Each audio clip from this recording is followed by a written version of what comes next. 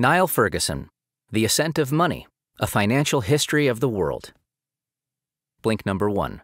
The financial system is evolutionary in nature. Charles Darwin discovered that life evolved through a process known as natural selection. Life forms most suited to their environments prospered, whilst those less successful died out.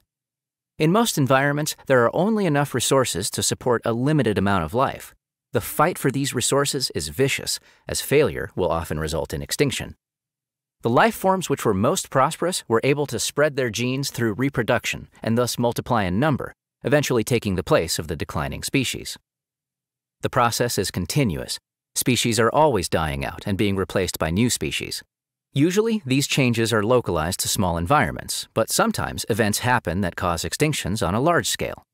For example, 64 million years ago, a meteor wiped out almost all life on Earth, including most dinosaurs.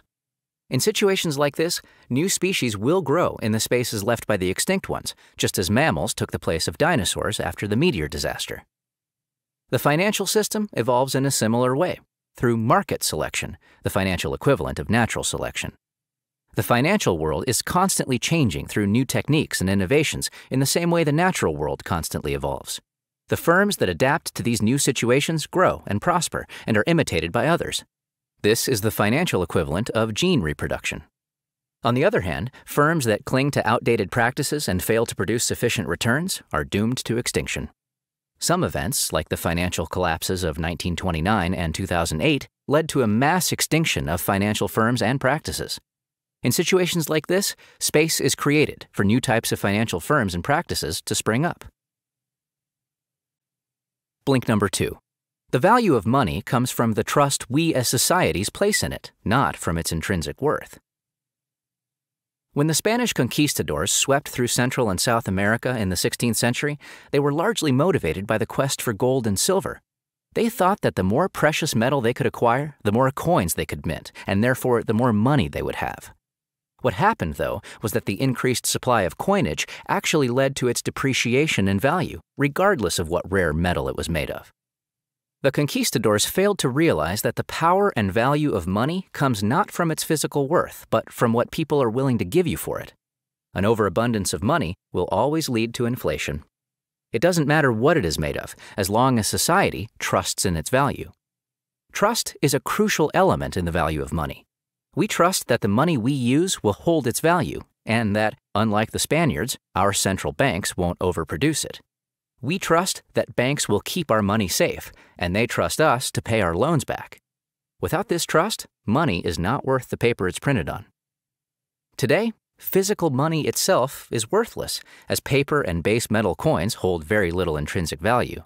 The vast majority of money in the world doesn't even physically exist. It is entirely virtual and can be transferred electronically across the world without ever materializing physically. These worthless tokens are accepted as holders of value because together we trust in them. Blink number three. The system of credit and debit funds the financial system through the creation of money. The invention of credit and debit was one of the most important developments in human history. It stands alongside technological and scientific advancements as a driving force in human progress. The earliest forms of borrowing and lending are found in ancient Mesopotamia. As payment for deposits, lenders were given clay tablets inscribed with how much they were owed, similar to IOU notes. Driven by developments in the practice of banking, this simple process of borrowing and lending eventually evolved into the system of credit as we know it today. Banks are the primary creators of credit, which in turn funds the financial system through the expansion of money. The expansion of money means credit actually creates money. Say you deposit 100 euros into the bank. They will probably keep a little of this money in reserve and lend, say, 90 euros to someone else. That person may place this loaned money in another bank, which then repeats the first bank's process, keeping a little and loaning out the rest, like, for example, 80 euros. The system has therefore created 270 euros from the original 100, and the money supply has effectively been widened. Monetary expansion has been crucial in the funding of the financial system, as the money created can be used to fund investments or buy goods. Without this basic relationship between debtor and creditor, the financial system would stall because the supply of money would become stagnant. Blink number four. The financial system is a combination of interconnected financial markets and institutions developed over centuries. The modern financial system was largely developed in Western Europe and North America. In medieval Italy, increased trade with the Arab world brought with it financial rewards and better systems of accountancy. This led to the creation of the first banks because merchants needed access to credit in order to fund their trade. Banks are crucial to the financial system because they fund the system by facilitating credit. War was the catalyst for the next financial development, the invention of bonds and the bond market. Again, this development first appeared in medieval Italy. Italian city-states were constantly at war with each other and thus constantly in need of funds to pay for soldiers and weapons. They raised these funds through the sale of bonds, loans to the government that paid a fixed rate of interest. These government IOUs could be traded on the bond market. The next development of the financial system first appeared in 17th century Holland, the joint stock company. Companies funded themselves by selling shares of ownership, which could be traded on the stock market. This particular development proved very popular and spread quickly across the globe. In the 18th century, Insurance companies used analysis of the financial markets to create huge investment portfolios that helped manage risk. Governments also greatly expanded their role in the area in the 20th century. Finally, beginning in the 1920s, the real estate market was expanded massively through deregulation and government incentives. This was done for political aims to try and create a stable and self reliant property owning democracy. Together, the relationships between these financial markets and institutions make up the modern financial system. Blink number five. Finance, in particular access to credit, is the most effective way of providing a route out of poverty. We are often told stories about greedy bankers, financial vampires who prey on the poor and unfortunate. They supposedly exploit the weaknesses and lack of financial knowledge in others to suck wealth from the bottom of society and hoard it at the top. Yet, the financial system is in fact the best way for nations, communities, and individuals to escape poverty and prosper with a sound financial basis. Banks, for example, allow savers to deposit money that can then be loaned to those in need. If the money were not put in the bank, it would lie dormant until its owner spent it. By depositing it in the bank, the money is made available to others. It can be transformed from its static state into a more dynamic form, credit, and thus be transferred from the idle to the industrious. Without access to reliable credit, poor people have to borrow from less reputable sources. Loan sharks often prey on those who are desperate for money but who can't borrow from reliable financial institutions. Astronomical interest rates are charged, and punishments for late payments can even take the form of violence. Access to credit allows people to make long term plans and decisions, such as buying property, starting a business, or investing in an enterprise. As an example, consider microfinance in poor areas. Through microfinance, relatively tiny amounts are lent, usually to poor women with little or no collateral. These loans can fund the purchases of expensive items such as livestock or can help the borrower start their own micro businesses. Just a small amount of affordable credit can make a dramatic difference in areas of poverty. Blink number six. Societies with a strong financial system will prosper at the expense of those that are financially inefficient. In inefficient financial systems, such as the communist command economy or medieval feudalism, capital is unable to flow freely. Bureaucrats control financial resources inefficiently to fulfill political targets, or they hoard wealth to enforce social hierarchy. The situation is static, with little incentive for financial development. The financial system that developed in Western Europe allows the freest and most efficient flow of capital when compared to other existing systems. Competition is fierce, Financial institutions need to be profitable and reliable, otherwise, they will be swept aside by better ones. Societies that use the Western financial model have been able to prosper and spread at the cost of more backward economies. As more efficient nations spread their geographical reach in search of more resources and sources of profit, they increasingly came into contact with nations that were unable to manage their own resources properly. This manifested itself primarily as the rise of European empires, whose power lay mostly in their financial might. Yet, because competition was so fierce, these empires eventually crumbled and were replaced by economically stronger entities. In the 20th century, the spread of the Western financial system continued through globalization. This development can be highlighted by several historical examples. Between the 18th and 20th centuries, Western nations with highly developed financial systems were able to dominate Asian countries, which, although rich in resources, had an inefficient, absolutist financial system.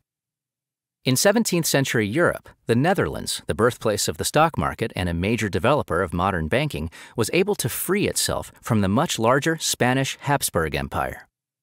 Although the empire was more abundant in gold and silver deposits, it had little economic understanding, which allowed the Netherlands to constantly outperform its rival economically.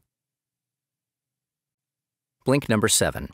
The financial system mirrors human nature and is therefore deeply irrational and unequal. No financial system is perfect.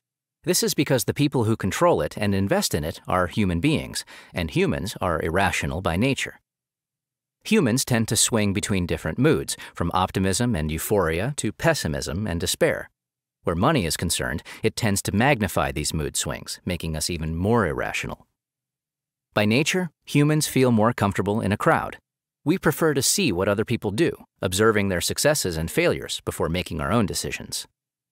Human societies also tend to be unequal. We all have different strengths and characteristics, and these are judged by others on their perceived importance. Society does not value everyone equally. These irrational faults and inequalities are mirrored and even intensified in the financial system. Firstly, financial rewards are not shared out equally. Those with the right attitude and skills to succeed in the financial world can gain wealth and power, while others will not earn the same rewards. Inequality lies at the heart of the financial system, just as it lies at the heart of the human condition. Just as people experience mood swings, the financial markets also crash from highs to lows very quickly. Investor confidence is especially fragile. People are easily scared when their money is involved and will tend to overreact to anything that affects their financial situation. People will also watch to see what other investors do in certain situations and then copy them. This tends to make financial markets unstable because people rush in and out of investments en masse. Blink number 8. The stock market tends to develop bubbles, all of which eventually burst. The stock market is like a balloon. When confidence is high, the prices of stocks and shares rises and the market inflates. When confidence is low, investors take their money out of the market and it deflates. Sometimes the market will inflate at such a sharp rate that prices become unsustainable. Like an overfilled balloon, the pressure bursts the market, making prices fall dramatically. This is known as a stock market bubble. Stock market bubbles are a relatively common financial phenomenon. They also generally follow the same pattern. Nevertheless, investors are often surprised by them because they fail to recognize unsustainable growth in the market. Many lose substantial amounts of money when the bubble bursts. There are many reasons why bubbles develop and why people fail to recognize them. The average financial career of a Wall Street CEO lasts 25 years, not long enough for most to grasp the up and down nature of the market. Many feel that the good times will go on forever and fail to understand the downside of high growth. Sometimes unscrupulous executives will exploit naive investors by falsely convincing them of the company's success and profitability, thus artificially pumping up share prices and reaping large bonuses. When such fraud is eventually unmasked, the share price collapses, leaving stockholders to bear the cost. The final reason for bubbles is that people don't fully understand the financial system. Many are lured in by tales of high profit margins and extraordinary growth. These elements combine to produce unsustainable growth in the market. As more and more people are sucked in, the market grows and grows until suddenly the bubble bursts, leaving investors with devastating losses. Blink number 9. Inflation and hyperinflation are often caused by the political mismanagement of a currency. Inflation means the weakening of the value of money. A small amount of inflation is to be expected in any economy, as more money is always being created. But excessive inflation, or hyperinflation, can be very dangerous. It is particularly perilous for those holding government bonds and savings in a particular currency, because these forms of wealth become less and less valuable. Hyperinflation is often the result of systematic mismanagement of a nation's currency and monetary system. It can only occur, though, if a nation prints enormous amounts of money and fails to keep its national debt under control. The responsibility for this phenomenon lies with the central bank or government. Therefore, its root causes are political. Quite often, there are deliberate reasons behind currency depreciation and hyperinflation. They can be effective ways for a government to wipe out its domestic debts because they significantly decrease the value of these debts. At other times, hyperinflation is the result of bad government policy stemming from political instability or the failure to solve long term central economic problems. Whatever the reasons for hyperinflation, it will always carry far reaching negative effects for society as a whole. It destroys the wealth of domestic creditors and savers whilst also hurting those on fixed salaries. It also severely weakens the credibility of the currency because outside investors will want to charge higher interest rates to compensate for lending to an unreliable borrower. This will also hurt domestic borrowers. Hyperinflation demonstrates the power that states ultimately hold over the financial markets, but it also demonstrates the dangers of trying to fight against the market. Blink number 10. Both private insurance and the welfare state are imperfect systems for minimizing financial risk and uncertainty. Modern private insurance was invented in 18th century Scotland by two hard drinking Protestant ministers who wanted to provide financial aid to the families of deceased vicars. They used advancements in social and statistical analysis to create the first insurance scheme in which a member's premiums were pooled and invested to provide returns. These returns could then be given to members in need. This new system of private insurance provided financial help to the unfortunate and partially mitigated the element of financial risk in life. It proved to be very popular, and systems of insurance spread rapidly in the 19th century. Nevertheless, insurance coverage was far from universal. There were always people who were too poor or lazy to take out insurance. For them, the loss of financial security led to extreme poverty or forced them to enter the workhouse, a prison like institution for those unable to support themselves. Before long, politicians realized that by providing insurance for these people, they could promote social stability and win over voters. The welfare state aims at minimizing financial risk through policies such as universal health care, old age pensions, and free education. There is, however, a downside. It has been argued that high taxes and universal coverage remove incentives to work hard and save money. Many welfare states face skyrocketing healthcare costs and pensions due to an aging population. Over the last few decades, there has been a backlash against the welfare state. Some governments have attempted to dismantle parts of the welfare system to encourage people to take financial risks once again. To protect themselves from risk, individuals have to choose between the expensive, uncertain private insurance and the hope that the shrinking welfare state will be able to care for them. Blink number 11. The deregulation of the real estate market shows how political decisions can have dramatic financial repercussions. Throughout history, political aims and financial reality have clashed dramatically. This is perhaps best demonstrated by the developments in the real estate market in the 20th century. Governments, especially those in the English speaking world, have pursued policies to increase the percentage of homeowners. The rationale behind this lies in the belief that property owners are more self reliant and secure than people who rent their homes. Yet, whilst this goal of a property owning democracy was politically advantageous, its financial ramifications have been unbalancing. Consider, for instance, the 2008 financial crisis, the largest since the Wall Street crash of 1929. It led to bank failures, national bailouts, and a global debt crisis, and its cause lay in the deregulation of the U.S. housing market. In an attempt to increase property ownership in the USA, subprime lending was promoted by the George W. Bush administration in 2003. A subprime loan is a loan to someone who would traditionally have been thought too risky to lend to. Politically, the loans were a positive step towards widening property ownership, especially amongst ethnic minorities. Financially, however, subprime lending was unsustainable. It was only possible through a form of financial alchemy. Those who gave out the original loans knew how likely the borrowers were to default, so they repackaged and resold the loans across the world to those who did not understand their risky nature. The illusion was only temporary. As soon as the borrowers began to default on their loans, house prices tumbled. Across the globe, institutions such as pension funds and even some municipal governments in Norway were left with worthless debt, and the crisis then spread further throughout the financial system. The global financial system collapsed due to the manipulation of the housing market for political gain. You've just listened to our blinks to The Ascent of Money by Niall Ferguson. The key message of this book is that the modern financial system, developed over centuries, is irrational, unequal, unstable, and difficult to control. Nevertheless, it provides the most efficient method for the creation and allocation of capital. This allocation of money to the areas it is most needed is crucial to economic development and human progress.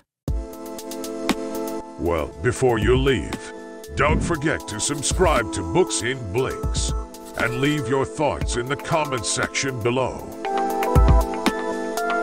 Also, check out the other titles in our playlist.